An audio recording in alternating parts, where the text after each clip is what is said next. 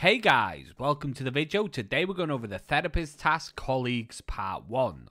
What we need to do is locate three groups that were sent to Shoreline, to the health resort, the pier and the cottages. And once we've located all three, we need to survive and leave the area. So let's jump into Shoreline and locate these bodies. And here's a quick map of Shoreline and you can see the red crosses at the villa, at the resort and at the pier are the locations that we need to visit. And here we are on the map Shoreline and we're just Oh, the rain literally picks up as we get in. Brilliant. And here we are on the map shoreline and we're by the pier. Now the first location we need to visit is right here.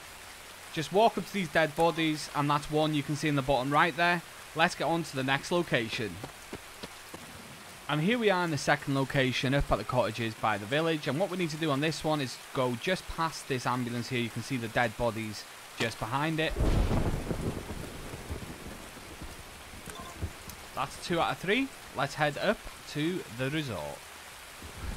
And last but not least, we're up at the resort. And what you need to look for is the helicopter that is at the resort. Because just behind it, the dead bodies, or actually just under it, are the dead bodies. So that's three out of three. All that's left to do after that is survive and extract the raid. So I'm going to leave this one there. If you liked the video, like the video, subscribe if you want to see more. Thanks for watching as always, and take it easy.